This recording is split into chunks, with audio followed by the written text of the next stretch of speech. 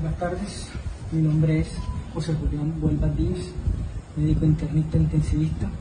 Trabajo en la unidad de cuidado intensivo de la clínica materno-infantil Adela de Char de Soledad. En el día de hoy recibí dos sufragios, uno en mi lugar de trabajo y este llegando actualmente en mi lugar de residencia. Me acusan de haber dejado morir una señora en pandemia en la unidad de cuidado intensivo. Nosotros, es imposible que dejemos morir al mundo. Nosotros fuimos formados para salvar gente.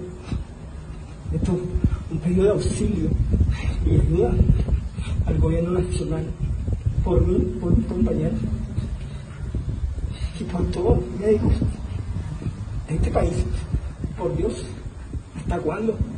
Si salimos todos los días a trabajar y en muchas ocasiones no tenemos ni siquiera las condiciones y a pesar de eso nos enfrentamos a esta pandemia. Por Dios, ¿hasta cuándo?